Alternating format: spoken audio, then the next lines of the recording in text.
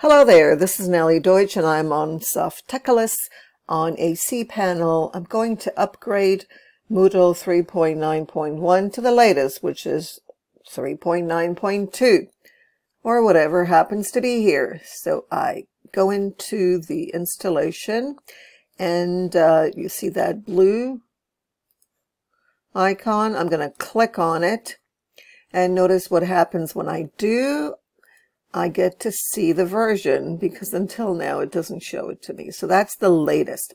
Make sure that you create a backup. Really, really important. So let's tick that off. So we get the backup, full backup. You can open it up if you want advanced options, which I don't.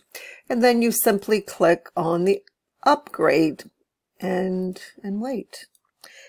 Uh, the time that it takes will depend on the size of your Moodle, if it has a lot of plugins, it's going to take a lot longer. But if you've got few plugins or the basic Moodle, whatever comes with Moodle, then it shouldn't take too long.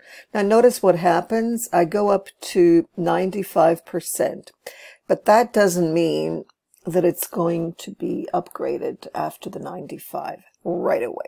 This means that I have to wait around, and that's what I'm going to do until the next step. Okay, next step, notice it's done, is to um, go into the admin over here and follow the steps.